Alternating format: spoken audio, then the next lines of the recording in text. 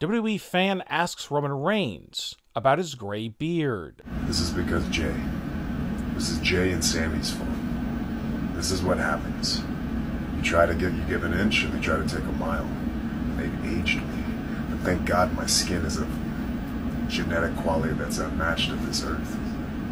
So thank God my skin's still beautiful and smooth, and kissed by the sun. Are you kidding me? If anything, these grays, are just, they just showcase my experience. Screw that guy. What do you think about Roman Reigns' beard going gray? Do you think he should color it or leave it as it is? Leave a comment and give me your opinion. And don't forget to subscribe for more wrestling news.